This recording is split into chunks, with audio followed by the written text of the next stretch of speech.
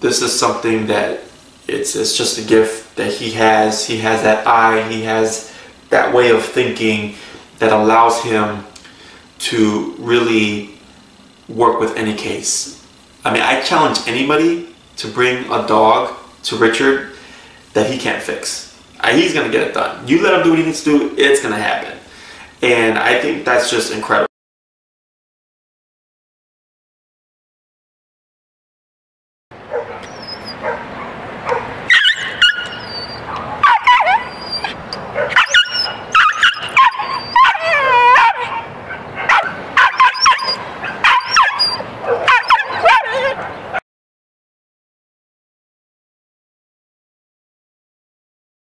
Gonna fall asleep soon. She's at a spa. This is spa day. this turned into conflict day to spa day.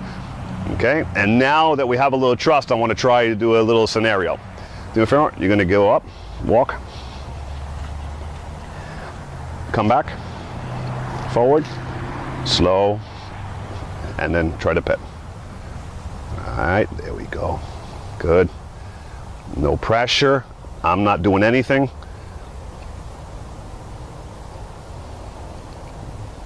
Perfect. Relax, the eyes closing.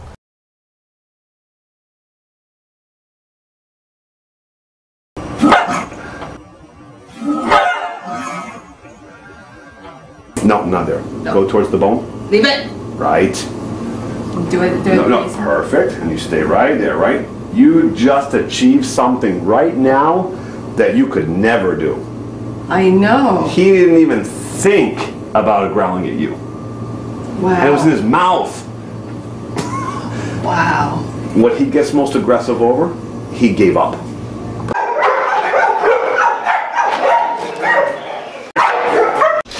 All right.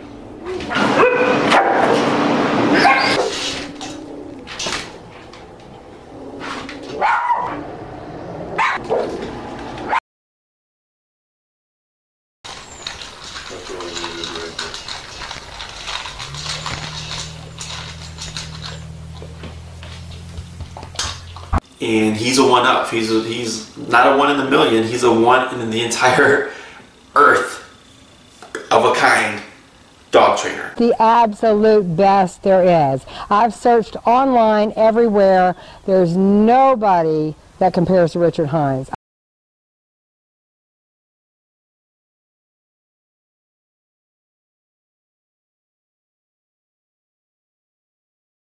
Uh, he definitely has a gift that um, is not something you can pull from a book. You can't get this stuff from a book. you know, you get to the end of these books that are so overpublished right now. All these super pros saying, you know, this, that, and, and only using one method or and not the other. And it just, at the end of the chapters, they didn't address her issues. They just said muzzle manage or euthanize. They didn't really give any kind of explanation on how to resolve the issue until Richard. And Richard just knows what to do. So it just cut to the chase, went down to Richard, and everything was resolved. The she still did it. Hey! See that? That's good. That's good TV.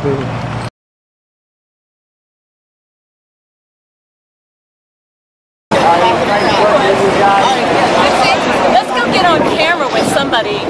What's it for again? It's for a Nick Lachey show. They're filming it 30 minutes from now. I'm used to being behind the camera, the other side, holding the camera. Oh, get this, get this. Oh, say hello. Oh, don't yet. What's your name? Gypsy. Good girl. Good girl, yes. Gypsy. What's your name?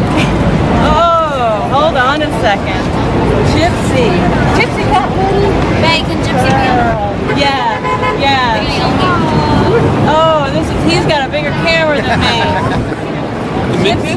Yeah, but I was just shooting video on uh, for somebody who helped me rescue her uh, to go on the web. So we've been shooting, panning. We're saying hello. Go ahead, get it. Good girl. She was gonna get euthanized. Good girl. How about those beans? Thank you. Oh, I wish I had my camera. Thank you, Richard. Did Gypsy be in the segment? So for the camera person, the, the, the interviewer, there to go down and touch Gypsy and talk before, it would have been rah, rah, rah, rah, rah. And when it bit the microphone, bit the girl, bit her hands, I mean, you could not go near Gypsy. Not even, don't even think about touching her or going close to her.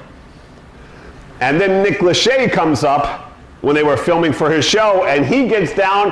Gypsy gets up. He pets her before, if he would have even went down, rah, rah, she would have went lunging at him like a crazy psycho dog and tried to bite him and tear him up. That is the huge progress and success that we had gotten with Gypsy after she came to me in Miami. No way, no how you could walk her down the street or forget anyone trying to touch her. That would never happen.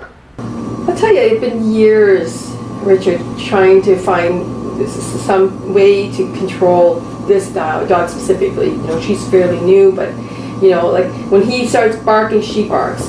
And I'll tell you, watching TV shows and videos, and nothing really worked for me. Yeah, and you were telling me you got all the books, you read all the books. it cost me a lot of money. I spent a Uh-huh. lot of money. the trainers online, everything you read about these behaviors. That I anything during this training with you.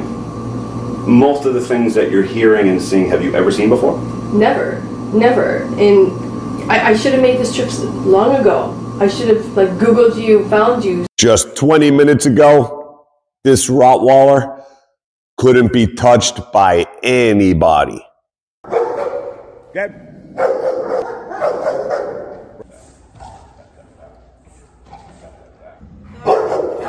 Yeah, well, side, side, side, side, side, side. And stay. Just come around.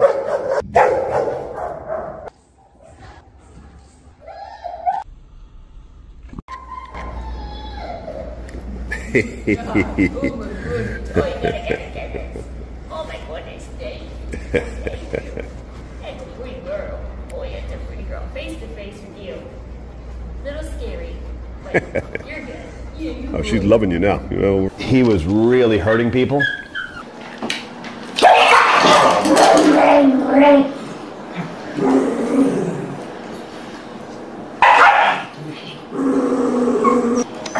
Got you good? Yeah. That's what it feels like then, huh? Uh, around the food, and nobody would try to feed him in a crate for the fear that he was going to savagely attack you. But now, hot dogs, everything else that he really wants. I sit here, we couldn't even be in the perimeter before. Good boy. Good boy.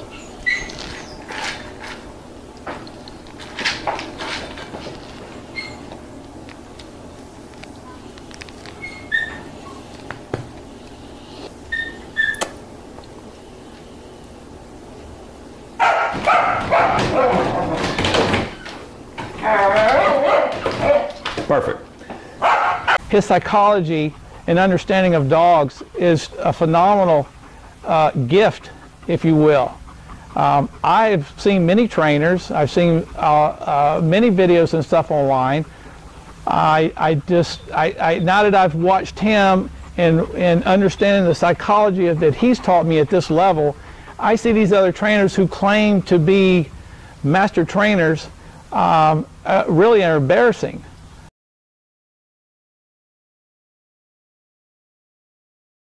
But this is our classic clients, right?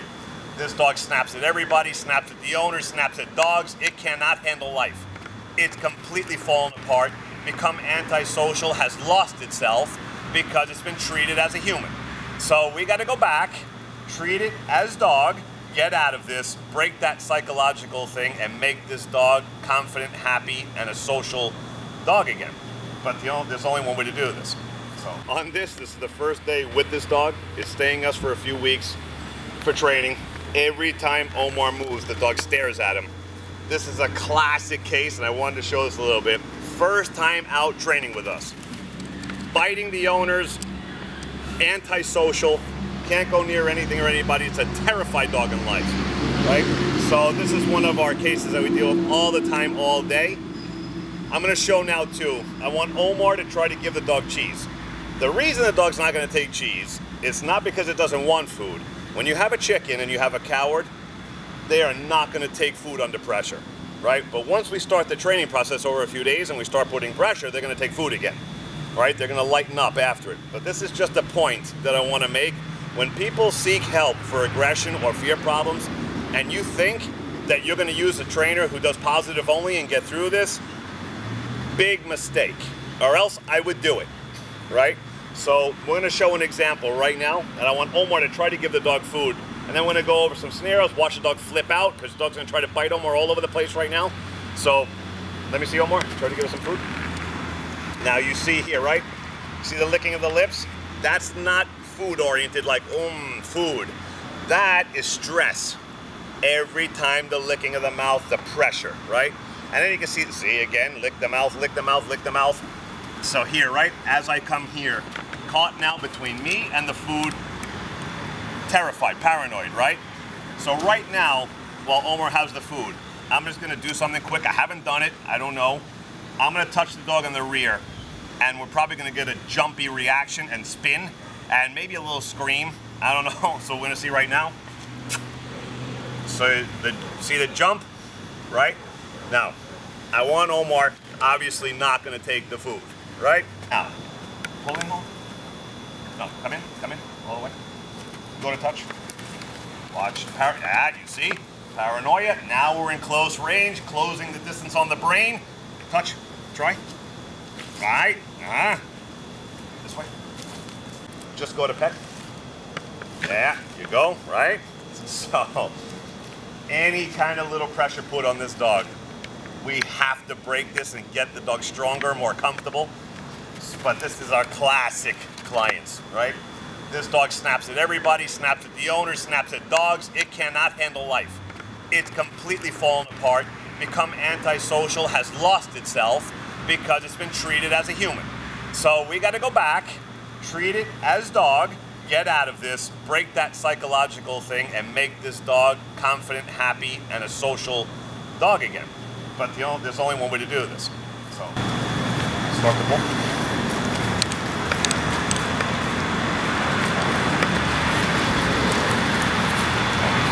Touch it. Just face the camera. Try to. All right. Stay there. Hold, hold the line. Hold the line.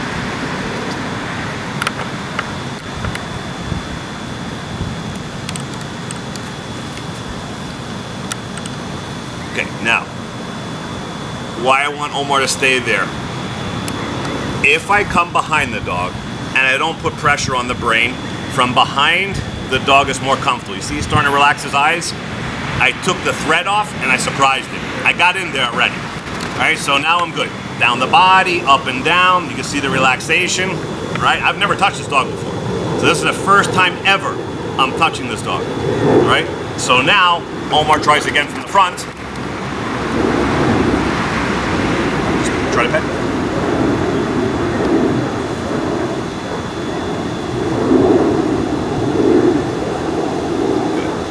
All right, First breakthrough. First time he's been able to pet it. Just move around. Now, just start to move forward. A little pressure. Pull forward. Forward. Forward. Here. All right. Settle. Try to pet. Okay. Better. So, little steps at a time. So here, you saw her on camera, just starting. Every time we'd move and try to go touch, snap, snap, snap. Get it comfortable, get it comfortable, push, push, push. Food is not gonna happen. Positive is not gonna happen until we get through all the other areas and then later, positive comes into play, but not to fix anything. Only to reward behaviors after, not now. Um, can I ask you what what did you notice that was different about Richard's training and philosophy that you had noticed about you know other trainers in the past? What makes him different? What was different? Okay, first of all, he, he the psychology. He knows the psychology of the dog. It's like he knows what those dogs are thinking, and like everything that we think they're thinking and that we want to do is the opposite of what's supposed to be. So I found his his his his uh, training uh, just fascinating to me. It, it's um. It, the psychology of it and understanding what the dog's thinking and it's the opposite of what we're thinking and I, I, was just amazed by the the rapport that he has with the dogs and and the way they respond to him and I was fascinated. I, I just couldn't get over it. I haven't seen that before, and and I have had different trainers. Okay. And so that that was the biggest thing for me was I, I was so so interested in his psychology that I keep telling him, when are you going to write a book? When are you going to get a TV show? he, he basically attacked the groomer and I had to jump on the dog and get him away.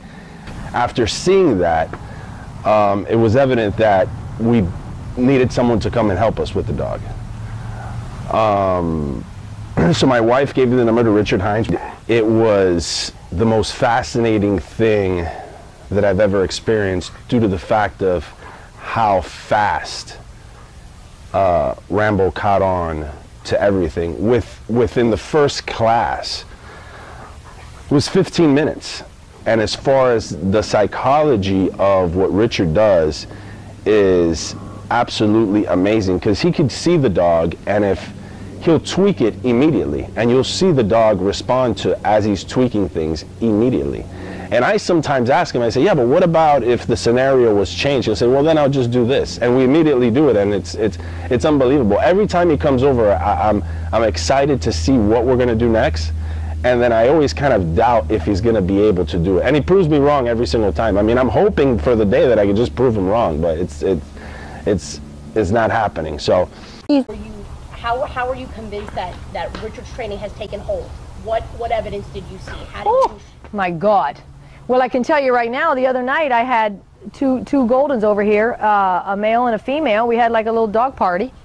And I've been going to the park. Never in my life did I think I could take him to a park and he hasn't he hasn't reacted he hasn't growled i was staying at my friend's house a week ago with him perfect it's another male and female and and and, and richard has told me i've always focused on the males because that's what i saw but richard said it's all across the board you know he has a fear aggression and it's not it, it, it can come out with the females too i had just never witnessed witnessed that so now the dog, those dogs come over to my house. They come inside.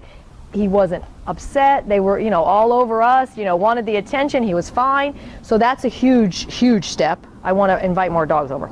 And going to the park is just like never in my life did I think we could take him to a park. You gonna share? Yeah, she gets. Is she paying? Is she paying to share water? She was. With Kane. Oh, good boy. Yeah. Good boy, buddy. She's like, give me more of your bag. No, she sees us often. Like that. It's okay. I'm even going to take him to the doggy yappy hour that's starting this week. Yeah. Excellent. That's great. To come down from Texas because we went through a few trainers that simply just didn't know how to train dogs. And I watched Richard's videos on YouTube and I knew I was going to bring my dog here. And once we got here, it's like it was in a day he had Max doing stuff that I couldn't even imagine. And now we've been here a week and he used to be dog aggressive in dog parks. After Richard worked with him, he's not.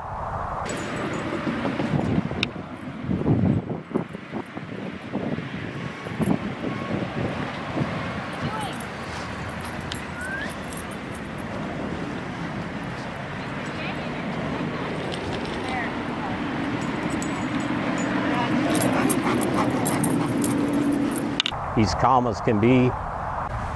So now, before when you got here, you weren't able to walk him really out in public, right? No, he'd go after kids and he strollers, bicycles, other dogs.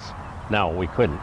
And here in the park, I think after the first session, he actually stopped going after things and stopped that aggressive lunging. And then from there, we were good up and down the parks with bikes. Kids,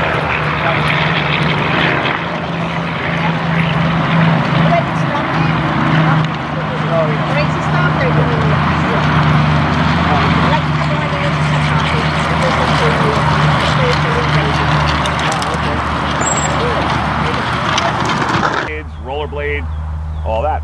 So I mean, in one day, he came a long way with that. a very long way. And he is my service dog, so it was important for me to get the best trainer so that I can always keep him and he doesn't get in trouble by doing something dumb. Yeah, and then we were just in the dog pen now. Children running past him all over the dog.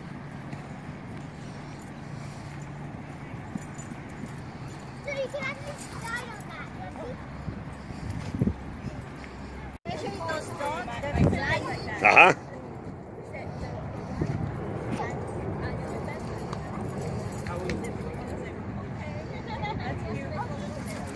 Dogs are running up to his face. You know, a few days ago we put a muzzle on him. We went in just to test him because you were telling me how aggressive he is in the dog parks. So with the muzzle on, you know, we calmed him down. We had a few things, and then the last two days we've had him off the muzzle, and he's been great in the dog parks with all the dogs, no aggression. You want a treat? Busy. yes, okay. You drink Like it now? later. Gonna share? Share.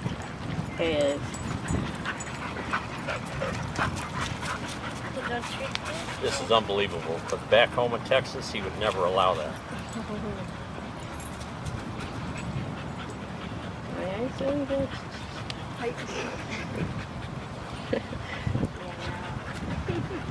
You, you use color on that. I'm just giving everyone kisses.